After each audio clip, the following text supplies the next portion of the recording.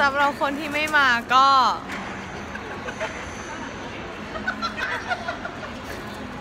อยากให้ทุกๆคนมานะคะ เพราะว่าเขาบอกว่าเขาแฮปปี้ที่มีพี่ๆอะมาอยู่กับหนูทุกคนเยอะเลยน่ารักมากทุกคนก็พี่เขาก็บอกว่าหนูว่าโชคดีมากๆเลย เพราะฉะนั้นพี่เขาก็เลยเลือกที่จะจ้างหนูมาทำงานเพราะฉะนั้นทุกคนก็ต้องมาดูดูกัหนูด้วยนะคะ